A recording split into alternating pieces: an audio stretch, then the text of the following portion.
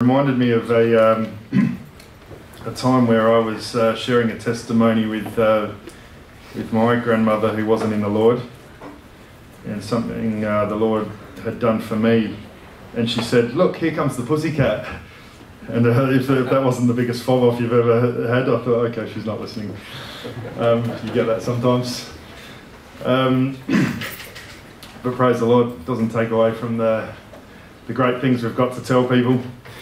Um, just wanted to uh, start off here today, um, just uh, talking about the story of, uh, of uh, Jesus Christ and him, him coming to earth.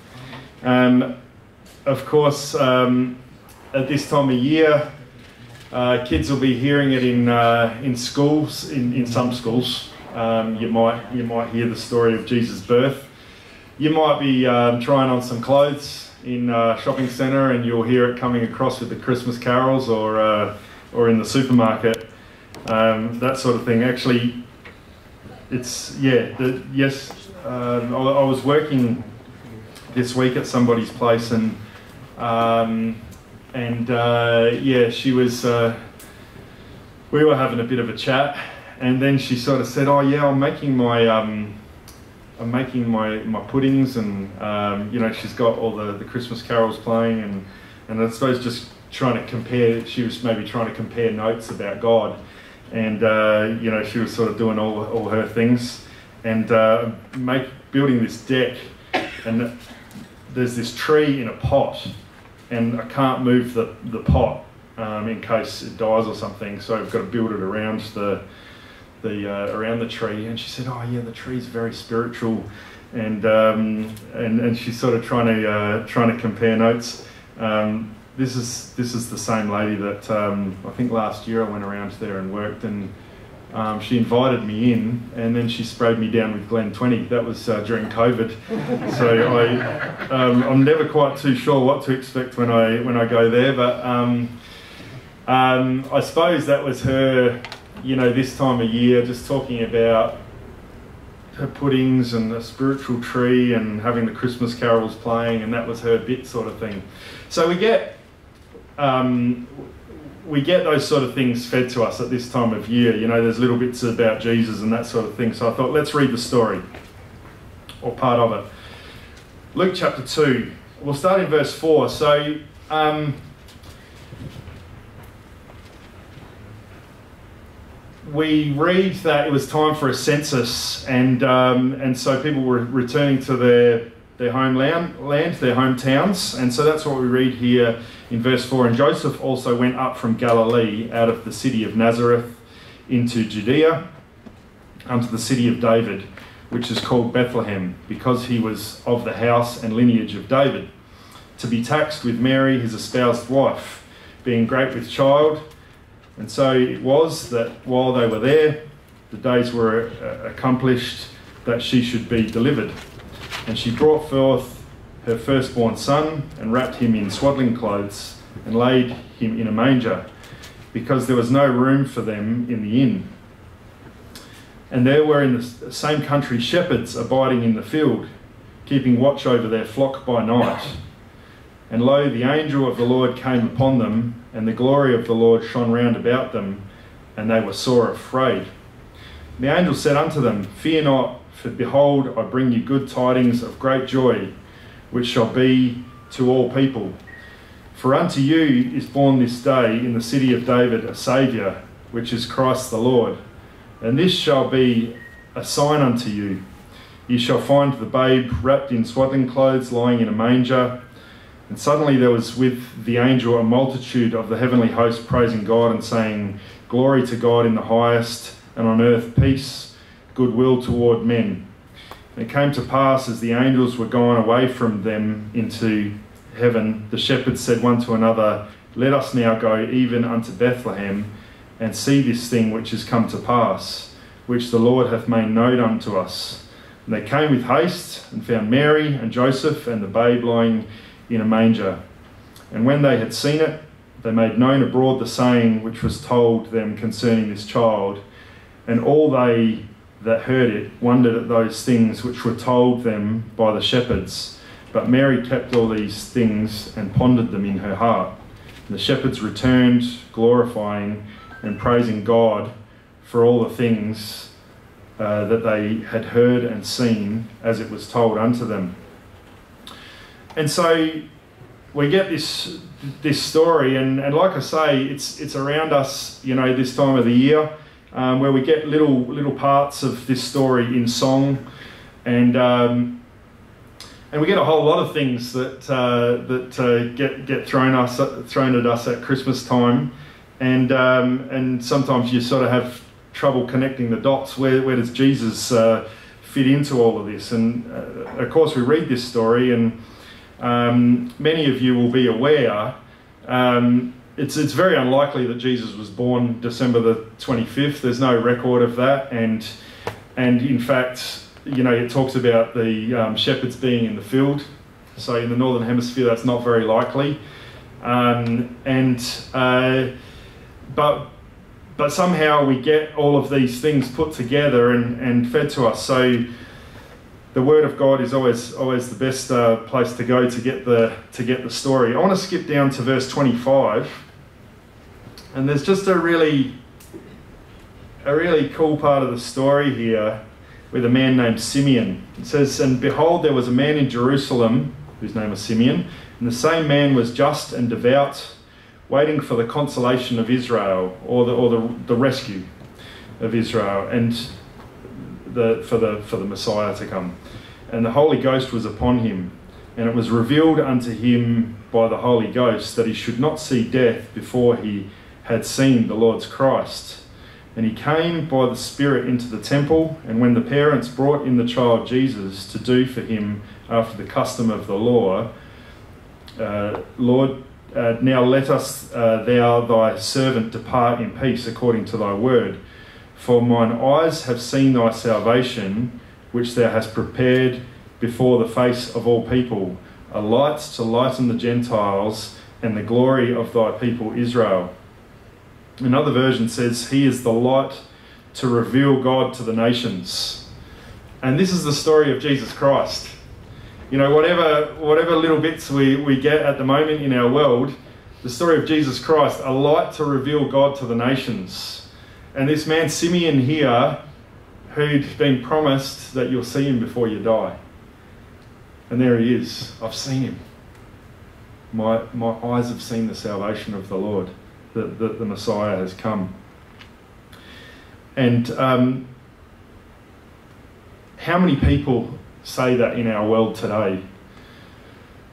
You know, before I want to die, before I die, I want to see the salvation of, of our Lord. Um, you know, I want to I want to see the Saviour, the one who came to to save me from death. How, how many people say that? You know, I want to see Jesus Christ. And and yet we've got this time of year, you know, around the 25th of December, where many around the globe would try to make it look like he means something. You know, whatever it is with nativity scenes or, or Christmas carols and you know, here in, uh, in the Geelong Revival Fellowship, um, you won't see us as a church getting actively involved in those things. The, uh, the Christmas tree out there isn't ours. Um, didn't have Ryan coming in here and you know sneaking it in on setup or anything like that. Um, but you know, I thought I'd just um, talk about it a little bit today. Some people will have heard us preach on this topic before, but many won't have. And I don't think it, it hurts as, as a reminder that it, it stands us in, in good stead to talk about some of these things. Um, when we were coming together nearly 12 years ago as a church here, and you know, you got people from different backgrounds, and and re- with regard to um, to Christmas, um, some could take it or leave it. Um, you got some hated mention of uh, the the word even and and praise the Lord, you know, the, I believe that we find to we we managed to find a, a scriptural path forward, and and may we continue in that, you know, in, in all things. That's what our what our aim is, and just to be united in the Holy Ghost, and and uh, and not creating a stumbling block um, for one another, or or getting caught up in, in fruitless conversations or, or reasonings. Because we all come from different backgrounds and upbringings and, you know, um, cultures. I mean, I think, um, yeah, mo- most of us have sort of lived in Australia for, for a fair, fair amount of time, but different, um, different ways and cultures in e- each family.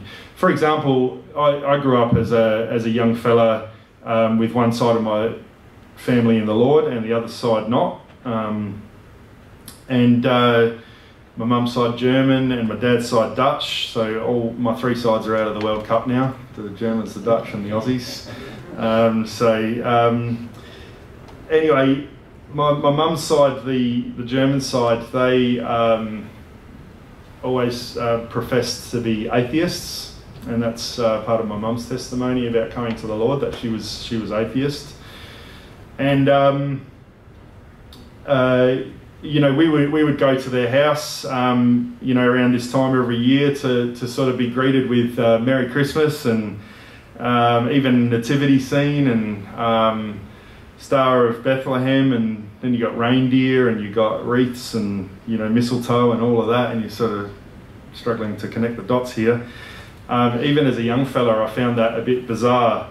You know, um, how do, how to all those things come together in a in a house of atheists, and um, but um, they gave good presents, so I got over that, um, and uh, and good food. Um, but the Merry Christmas bit, I uh, I could never bring myself to, to say that. You know, what what does that mean? You know, like Christ once again, house of house of atheists Christ Mass. You know, we we get that from the uh, the Catholics. And here in a in a house that all my my life, um, I heard. Uh, yeah, my mum's side of the family, they're being witnessed to and rejecting the gospel, and um, and and them and, and, strongly rejecting the gospel. Um, um that story I just told about the pussycat, that was later on when sort of everything had all sort of calmed down. But they strongly rejected the gospel for a lot of years, and um, and uh, you know to de- deny the power of Christ in us and to deny He even exists. And then we have the warm and fuzzies at Christmas time, you know, Merry Christmas sort of thing. And uh, the sad part, you know, is that my my opa uh, died this year, the, the, the last of my grandparents. But unlike Simeon that we read in that story, he couldn't say, My eyes have seen the salvation of the Lord. And you know, Jesus Christ didn't mean didn't mean anything to him. And even though at December, you know, each year the baby Jesus was there in his lounge room.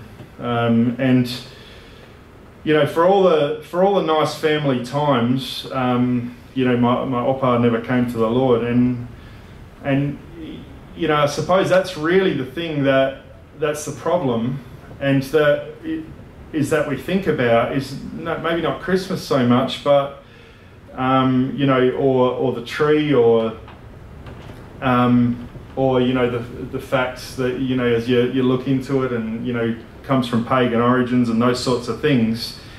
Um, I, I, I mean you, you sort of look back, you know, the fourth century or whatever it is there, and where where pagan um, Rome coming together with the Christians and, and, and compromise to have more of a chance to bring people, um, uh, you know, into the, the Christian realm and, and this, this Feast of Saturnalia. And that's where you connect the dots because you've got the, the celebration of the winter solstice and the evergreen tree and so on. And, and you know, and the the wreaths and the, the candles and so on, and, and all of those things. And, and so it was this compromise. And that's where, you know, you connect those strange dots where how did Jesus get into all of this?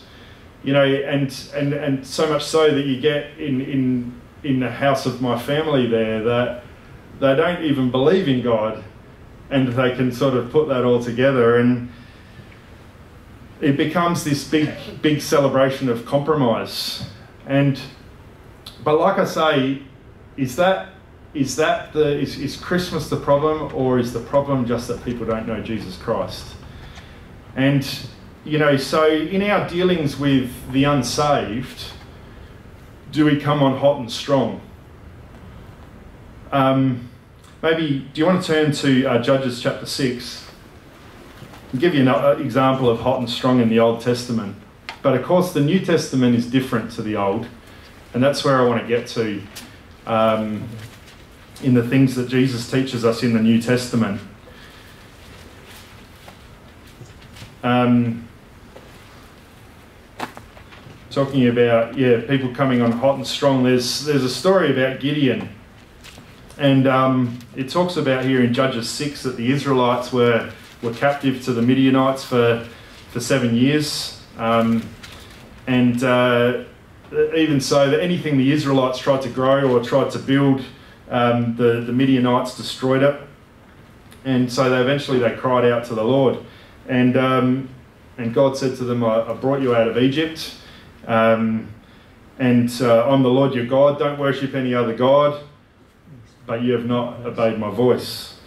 And um, and so then uh, then this man Gideon comes into the story, and he's threshing wheat in, in hiding, trying to keep the trying to keep the wheat so that the Midianites don't take it or destroy it. And and an angel appeared to Gideon and says, "The Lord is with thee." And um, and Gideon, as was his way a couple of times, he, he asked the Lord for a sign, and uh, the Lord performed it. So we'll just pick it up in verse 22. And when Gideon perceived that he was an angel of the Lord, Gideon said, Alas, O Lord God, for because I have seen an angel of the Lord face to face. And the Lord said unto him, Peace be unto thee, fear not, thou shalt not die. Then Gideon built an altar there unto the Lord and called it Jehovah Shalom. Unto this day it is yet in Ophrah of the uh, Abiezrites. And it came to pass the same night that the Lord said unto him, Take thy father's young bullock, even the second bullock of seven years old, and throw down the altar of Baal that thy father hath, and cut down the grove that is by it and build an altar unto the Lord thy God upon the top of this rock in the ordered place, and take the second bullock, and offer a burnt sacrifice with the wood of the grove which thou shalt cut down. And then Gideon took ten men of his servants, and did as the Lord had said unto him. And so it was, because he feared his father's household, and the men of the city, that he could not do it by day, that he did it by night. And when the men of the city arose early in the morning, behold, the altar of Baal was cast down, and the grove was cut down that was by it. And the second bullock was offered upon the altar that was built. And so here we read of the way that uh, we, we get familiar with in the Old Testament, and to there's a there's a God there that's being worshipped, and to cut it down, you know, and um, um, I suppose like I say, I want to bring the New Testament into that because we don't live in that time anymore. And um, if, if I'm sort of comparing it here to um, to different stands we make in our walk in the Lord, um, there's some things, you know, maybe like this one. There's there's no point burning burning your relatives. You know, you can go you can go around hacking down Christmas trees and whatever pagan, um, you know, things that remain in our world. Um, but but there's no no point in in burning um, burning your relatives. Like we want to win their hearts to see Jesus Christ. Do you want to turn to 2 Corinthians chapter 10?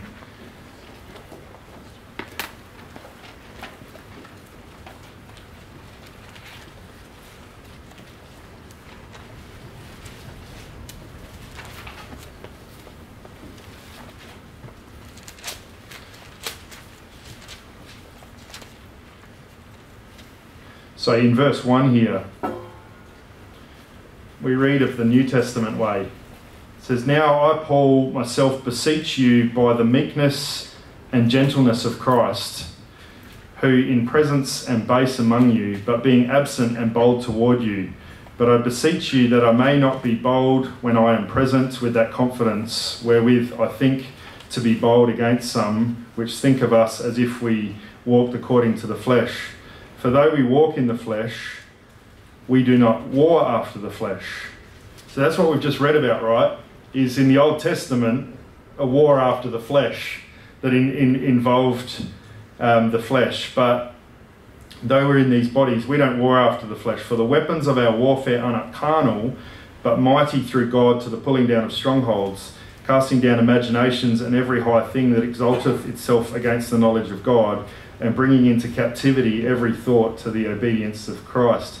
That verse 5 in the Amplified says, We are destroying sophisticated arguments and every exalted and proud thing that sets itself up against the true knowledge of God, and we are taking every thought and purpose captive to the obedience of Christ. And so, what we read about here is the power of, of your testimony. Is that um, not in, um, what does it say? We, don't, we do not war after the flesh. But the power of our testimony is such that these people have got something. They don't stop talking about Jesus.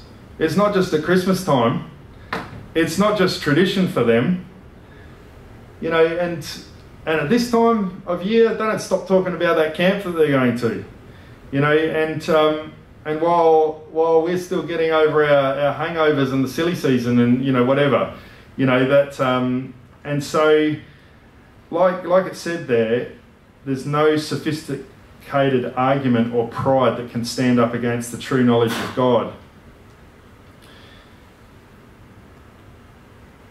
You know, there's um, let, us turn to another scripture, Romans chapter 14.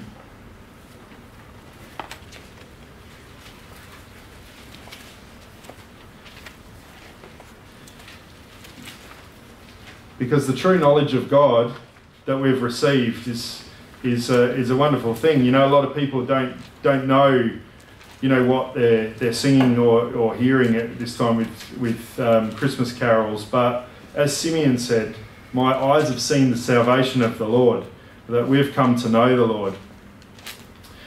So, you know, as, as far as the as far as the unsaved go, um, there's there's no point getting into fruitless conversations or or arguments about what's right and wrong and and what the history is and what's what's this and that. The the point is that they don't know Jesus Christ. Um, so let's continue to, to be a testimony and not, not war after the flesh, but, but after showing the Lord living in our life. So that, that's for the unsaved. And as for in the church, um, I want to read here in, in Romans chapter to 14 just about. Once again, this is in reference to not bothering about you know sophisticated arguments or the or the traditions of men. So in, in verse 13, it talks about not creating a stumbling block for one another. Let us not therefore judge one another anymore, but judge this rather, that no man put a stumbling block or an occasion to fall in his brother's way. I know and am persuaded by the Lord Jesus that there is nothing unclean of itself, but to him that esteemeth anything to be unclean, to him it is unclean. But if thy brother be grieved with thy meat, now walkest uh, thou not charitably, destroy not him with thy meat, for whom Christ died. So, this is the New Testament way. You know, that Christ died for your, your brother or your sister. And so, what it's saying here, we don't be judgy on things that don't really matter. Um, you know, like sometimes you get people like talking about coming out of different backgrounds. Sometimes people have come out of different churches and come to the Lord, and and they actually don't want it that stuff anymore because it's compromised to them, and and and they love things like Second Corinthians chapter six, where it talks about come come out from among them and be ye separate.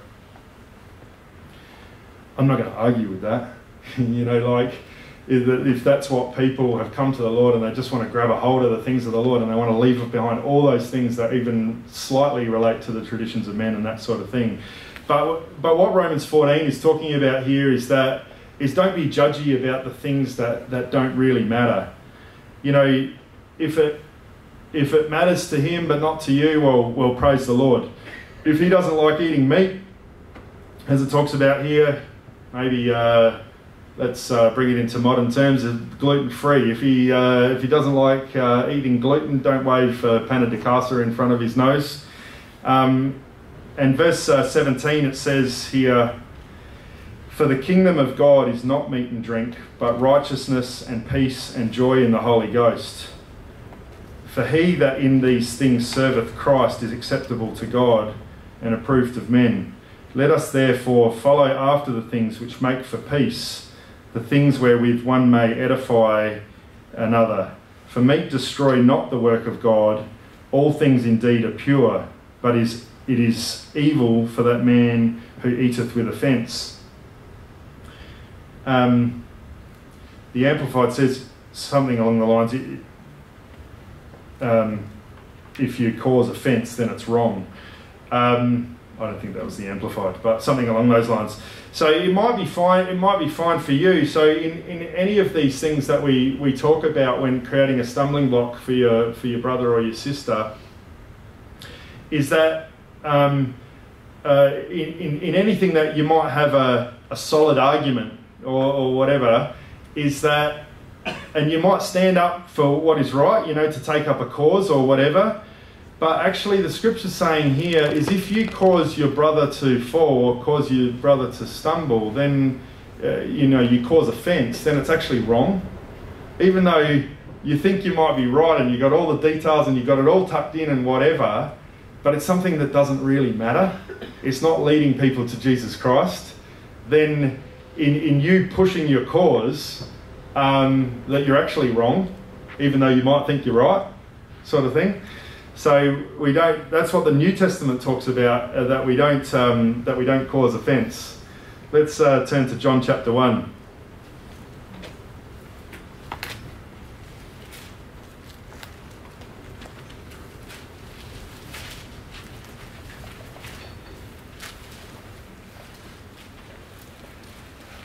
So the safest place as a church is that that we don't promote traditions of men, but rather we continue to promote Jesus Christ. And so, going back to where we started, the actual story of, of Jesus Christ coming as a man, we read here in John chapter 1 and verse 14. This is a great scripture. And the Word was made flesh and dwelt among us. And we behold his glory, the glory as of the only begotten of the Father full of grace and truth. That's the story of Jesus Christ. Whatever it is coming at you through your TV screen or the shopping centre or school or whatever it is at this time of year, this is the story of Jesus Christ. And we know it. All the people said? Amen. That the Word was made flesh and dwelt among us, and we beheld his glory. And because that's the bit that gets left out. We behold his glory. You know, um, we started off with the, the story of, of Simeon when he saw um, Jesus as a baby, and now this is John the Baptist, and we'll skip down to verse 29. Says, The next day John seeth Jesus coming unto him, and saith, Behold, the Lamb of God, which taketh away the sin of the world. That's the story. This is he of whom I said, After me cometh a man which is preferred before me, for he was before me. And I knew him not, but that he should be made manifest to Israel. Therefore am I come baptizing with water. And John bare record, saying, I saw the Spirit descending from heaven like a dove and it abode upon him, and I knew him not. But he that sent me to baptize with water, the same uh, said unto me, Upon whom thou shalt see the Spirit descending and remaining on him, the same is he which baptizeth with the Holy Ghost. And I saw and bear record that this is the Son of God. You know, people like to keep baby Jesus in a manger. But here we read of the whole story of why he came. That this is the Son of God who baptizes with the Holy Ghost. You know, and we'll never get sick of telling that story. Whatever confusion or compromise the world dishes up, that will say, You want to be free from sin? Behold the Lamb of God. You want to have a new life, be born again? Behold the Lamb of God. To, to be baptized, He'll fill you with the Holy Spirit. This is the Son of God. And a few verses down, He says, Follow me you know, and people start to, to follow him there. And, and praise the Lord that that's our story. And I know people here have got absolute clarity on that. And that's, that's, uh, that's not an issue. Praise the Lord for the Holy Ghost and, and what he reveals in our life. And we're absolutely, absolutely convicted of Jesus Christ, the Lamb of God, why he came, what he's done in our life. There is no confusion with the compromise of this world. And actually, at a time of year like this, and I know it because I already hear it in conversation, is everybody's looking forward just to being together, camping together. There's maybe some parts of that, you know, when you're waiting for the shower or whatever, that, you know, not so much, but, you know, like just being together, praising the Lord together, um, worshipping Him, being ministered to in fellowship, in in communion and all of those things that have, have become our life. And, and that we don't, it, it means just so much more to us than the traditions around about. And it's, um, and, and we, we are, are, are complete in him, him. And if anything else, it shows just how wonderful what he's done in our life because people look forward to different aspects of, of, of this time of year, but it doesn't last. You know, it's just it's just a moment, you know, like but we have something lasting and something that, that, that we hang on to and it's the truth. You know, and, and we, we abide in that truth and and we don't uh, we don't war after the flesh, but we we're able to um, just take, take the Word of God out. That we're never confused about the issue out there is none other than the fact that people don't know Jesus Christ and we want to take it to the world. All the people said? Amen. I'll hand over to Anthony for communion.